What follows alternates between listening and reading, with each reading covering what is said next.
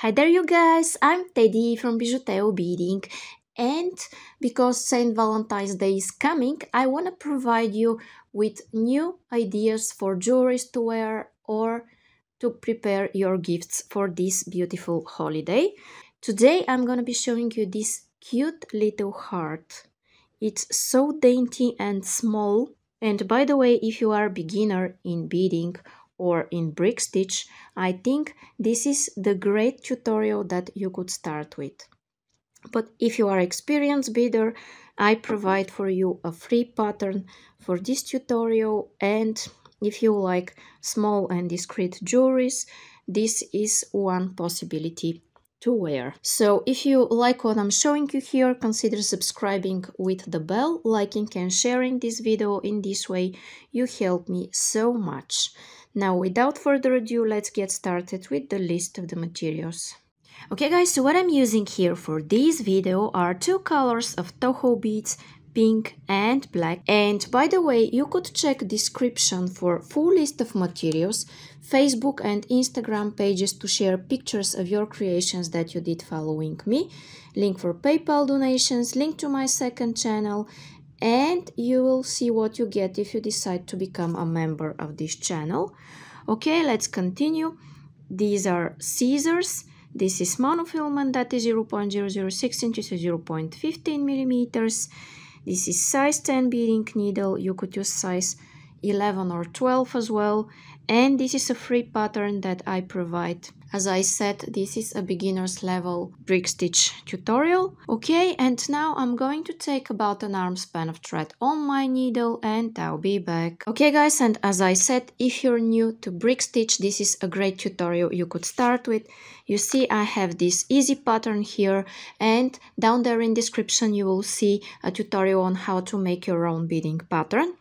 And now I'm going to start it adding these two black beads. If you don't see, there are two black beads here and uh, one at the edge. And this is also one, if it's not visible very much from my pattern. So first I'm going to take these two beads and I take them. I'm going to slide those down. I will stick my needle in my mat and here I want to make a knot.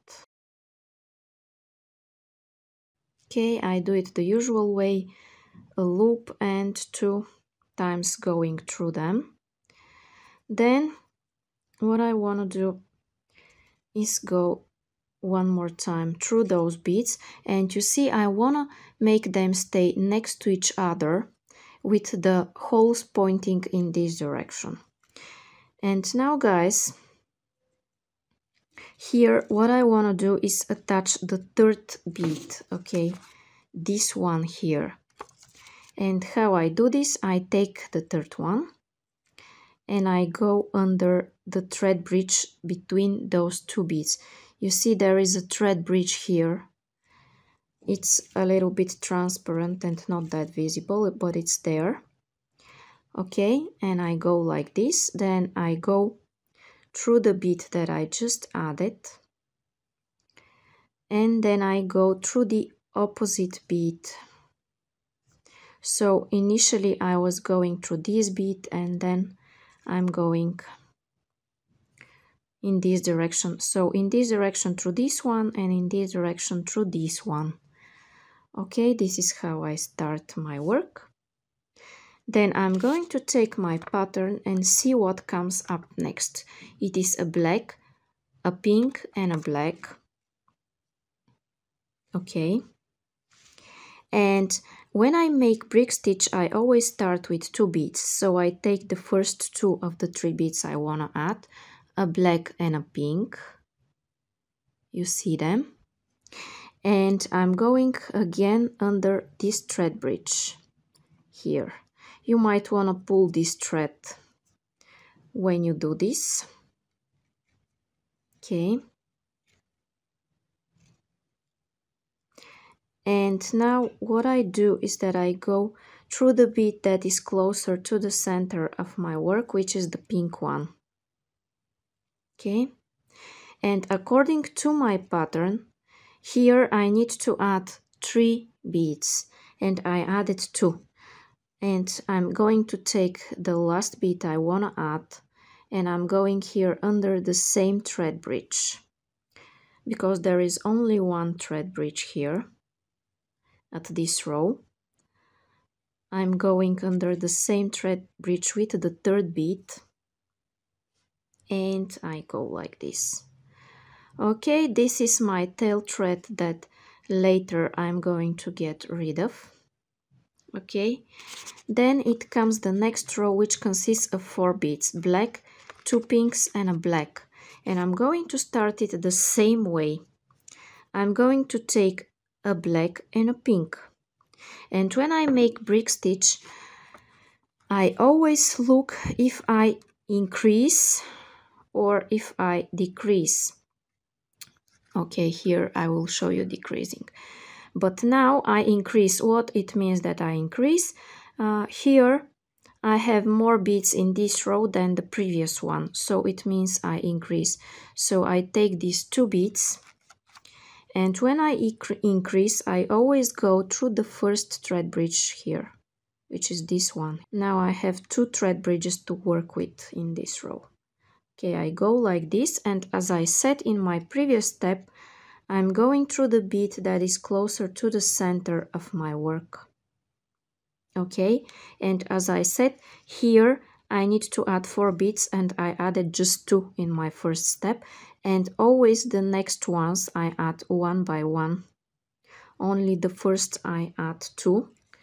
Now I'm adding the next bead which is pink and I go like this and then what I need is a black one and I'm adding it at the same thread bridge. When I'm out of thread bridges and I still need to add one bead, I add it at the last thread bridge again. So here at the first thread bridge I have two beads and here at the second thread bridge I also have two beads. Okay, now it comes the next row which consists of black three pinks and a black. And I'm going to show you this one as well. A black and a pink. I always start with two beads. And because I increase as I told you I have more beads in this row than in the previous one. I go like this and I go through the one that is closer to the center of my work okay. Now in my next step because I said I need three pink beads I'm going to add them one by one. As I told you only the first step is two beads and the next steps are one by one. So I'm adding them at each of the thread bridges that follow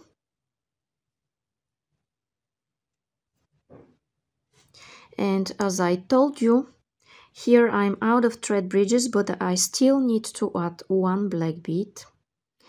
And I, I will add it at the same thread bridge here the last one that I've just been through with the pink bead with the third pink bead. And then I go like this. Okay then I will consult with my pattern here I'm going to add one black, four pinks and one black and I'll show you the first step and let you do the next steps by yourself. Okay, so I take a black and a pink. I go under the first thread bridge here, just like this.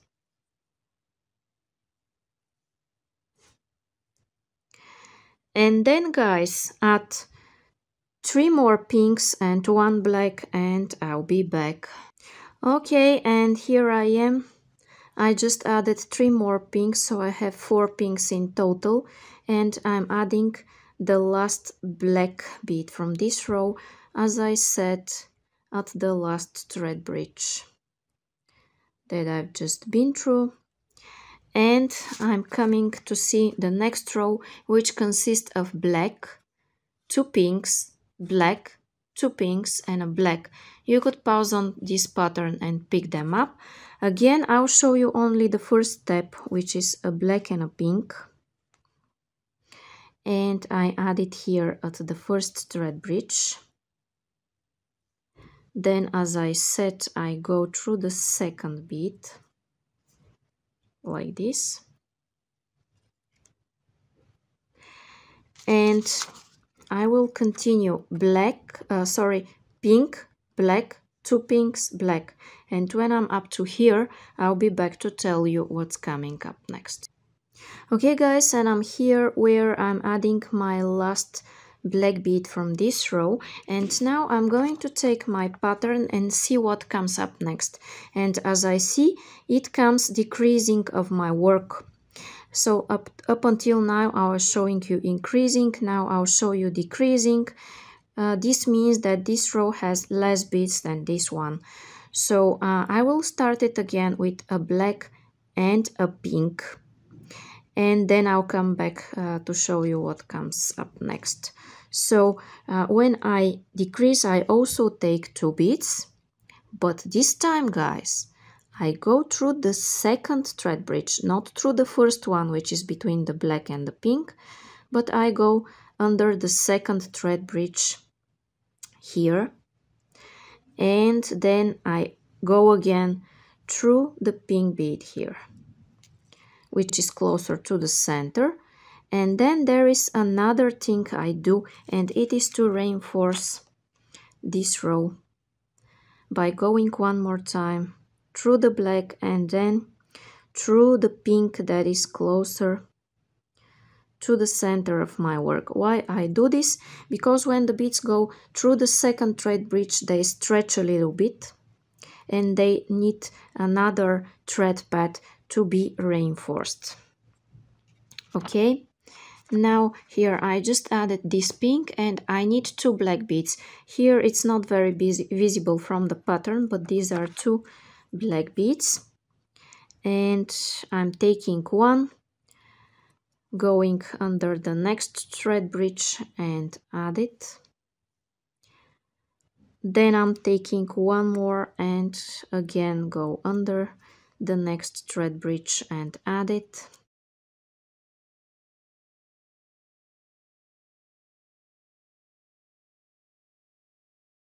And then in my next step I need a pink and a black again. And I take a pink. It is absolutely the same thing as I showed you before. But here at the last thread bridge I need to add only one bead because when I decrease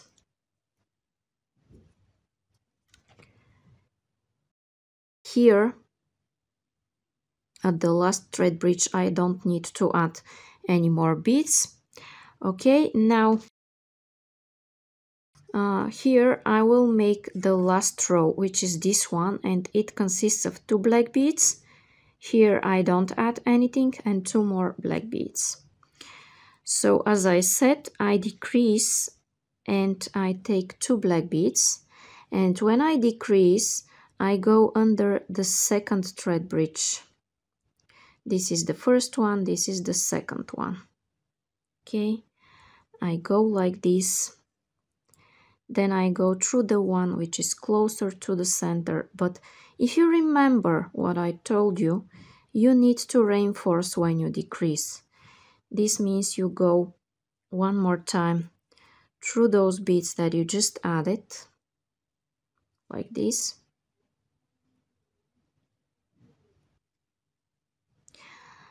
Now, uh, what you need to do is here skip this thread bridge, okay? Don't add anything at the next thread bridge. Just go through this bead and then go through the following one.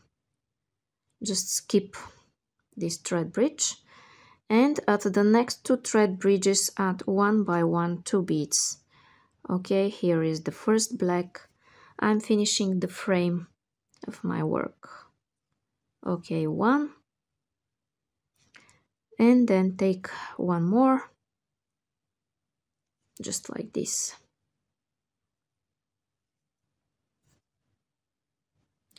Okay and now my cute little heart is ready. And what I need to do next is make my ring band.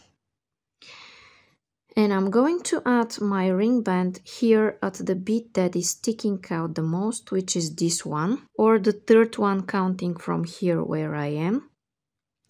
So in order to reach it, I'm going here through some beads.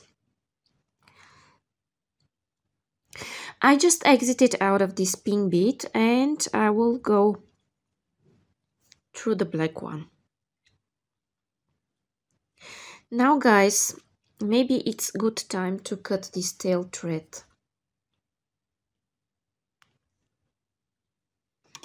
Okay, and now how I'm making my ring band.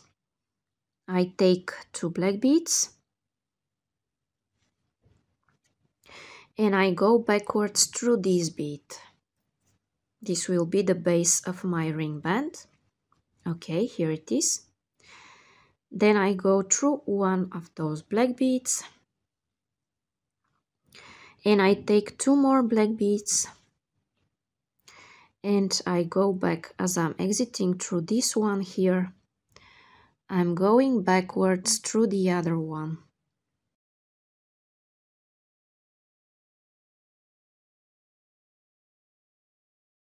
Okay, just like this.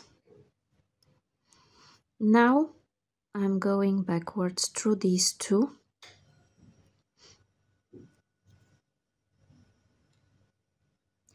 And I start the familiar herringbone stitch. If you wonder what it is, this is everything I do in the herringbone. I take two and when I exit through these two, through this one here, I go backwards through the other one. Like this and just to reinforce I might go backwards through two beads instead of one. And then I go like this. Through the pink. And now I'm alternating pink and black beads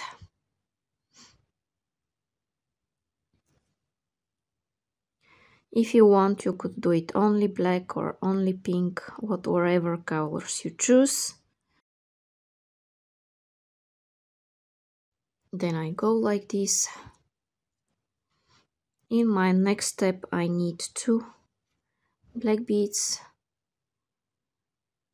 Go like this.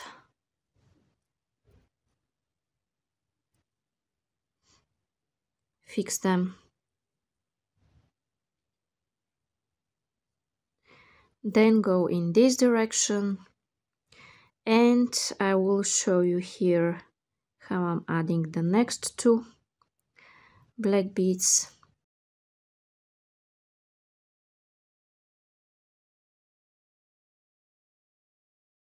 And I'm going like this. Okay. Now I will continue this ring band and when it's long enough to wrap it around my finger I'll be back to tell you what's coming up next. Okay guys, and now I think this ring band is long enough for my finger. That is why I wanna attach it like this and finish my ring. Okay, how I attach it, it's really, really simple. I'm exiting one of the in one of the black beads, okay. I'm exiting here out of this one if you don't see my thread here it is. And I'm going in this third bead like I did before which is the opposite one of this. And then as I'm exiting here I go in the other direction just like this. And I wanna reinforce this connection here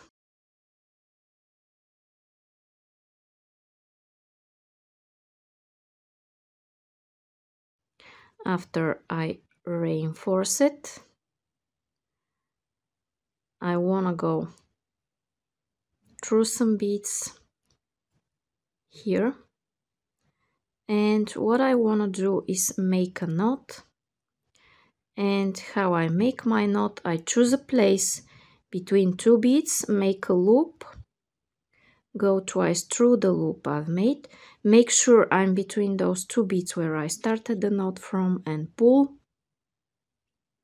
Yes I know sometimes this brick stitch is finished without a knot but here because the beads are toho I think there is a possibility to make a regular knot then I cut my thread as close as possible to my work. Okay and now my heart beaded ring is ready guys